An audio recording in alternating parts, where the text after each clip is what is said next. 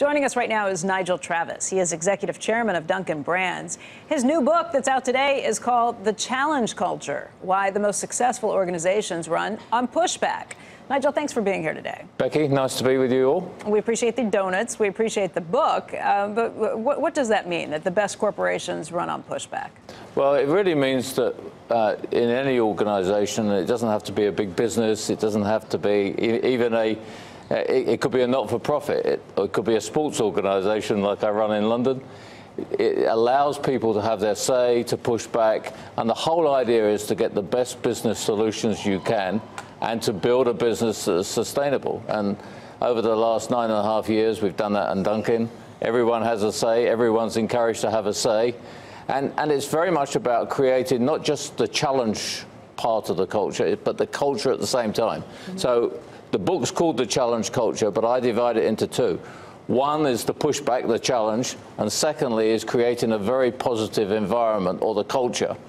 And I think a lot of people out there think culture is one of those things you go down to the hardware store and say, I'll have some nails and a culture.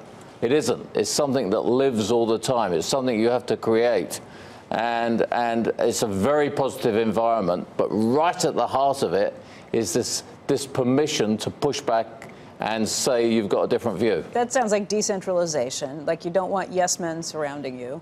Why, why is that important? What are a couple of examples, or at least one example, of where that decentralization, allowing people to push back, made you do something differently than you would have done otherwise? Well, a good example is at Dunkin', I've run these uh, meetings called coffee chats, which are for people down the organisation, and we always describe it as though it's a a TV talk show. You can say anything you want about anything, and, and it's not a Q&A of Nigel.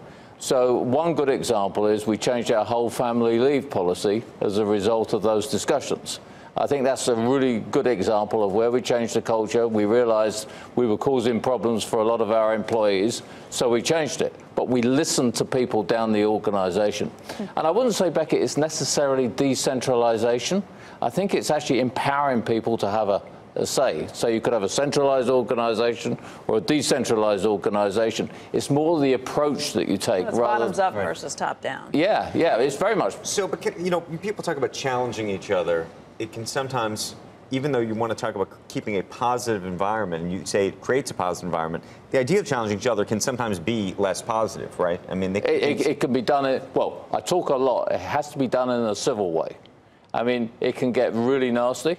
I, I, actually think, having been on this show many times, yes. you guys actually create a very positive ch challenge culture because you challenge each other. We do. It can be challenging too. Yeah, and, and but you do it surrounded by humour. I mean, many times Joe will poke fun at you or poke fun at me, as he's done many times, pointing out how I nearly killed myself on a snowmobile. You did, and I just wanted, I, I, we were talking to Polaris. Would you I love snowmobiles, but you are a living example of what can go wrong. And my 13-year-old uh, son has never forgotten it, and it, turned it over on, on himself. Yeah, right? I know. Yeah. which is possible if you're not careful. Yeah, but yeah. the point is, I think you have to allow people to make fun of you a little bit. Right. And and and I think that's one of the reasons why we've been very successful at Dunkin' because that's the environment we have. I mean, you're not the God Almighty. You are someone who can be approachable, someone who's authentic and I think it's the environment that's so important. Nigel, you developed this theory in part from your experiences in places like Blockbuster. What yes. did you see happen there, and what did that teach you? Well, Blockbuster was probably the greatest fun I had. It 10 years I was there. Um, uh, we did a lot of good things every day. I'd yeah, you did up. a hell of a job there, Nigel. Uh, uh, I did it. I left in uh, 2004, Joe. So good pushback. Um, there's there's a challenge with yeah, humor. But but the thing we missed is we had all these technologies coming at us just about every day. We regarded Netflix at the time as a small regional chain that probably wasn't going anywhere. We could have bought it for 50 million. Oh. Last time I looked, it was worth 159 billion. Uh, Reed Hastings has done a great job. We actually came after Netflix, was taking market share but subsequent to me leaving, we had activist shareholders come in, they focused on retail, thought the internet wasn't going to be a big thing, took all the investment away, and as Joe says, the end result was Blockbuster went bankrupt in 2010. There's one left, supposedly. There's one left in Oregon. In Oregon. Yeah, I mean, Alan Payne, who ran the stores in Alaska, a great franchisee, he closed his doors a couple of weeks ago. But I still believe that Blockbuster could be here today with games. I mean, look at how GameStop has continued. Right. But the whole point of the Blockbuster um, lesson, I think, Becky, is you've got to look forward, you've got to anticipate the future, and you've got to challenge the status quo as it is today.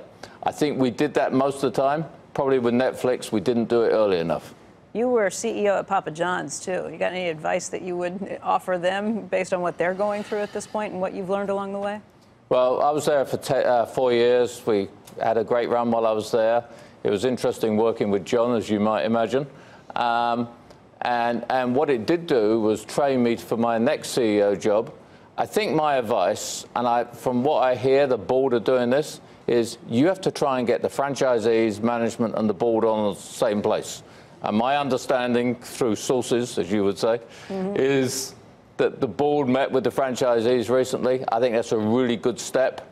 You need to have a plan because franchisees, as I say in the book, focus on one set of economics, the company focuses on another, bridge that gap, and I think the board has done that. So I think they've taken the very important first step, and I think they have to get behind their CEO, support it, work with the franchisees because it's a fantastic concept that John invented in a broom cupboard. Um, probably the best chain pizza out there. So I think it can get back to being a great company. Nobody's getting Papa John tattoos, okay? Domino's is right up there with chain. But in Russia, yes. Russia. But here's a true story, Joe. The Yeah. day we bought our English football club, Leyton Orient, we have several fans with the day and my partner and my name on their bodies. So it's not only in pizza that happens. And you don't even have to give mm. them free pizza for life to get no, we just have to hopefully keep winning, and we're unbeaten so far this year.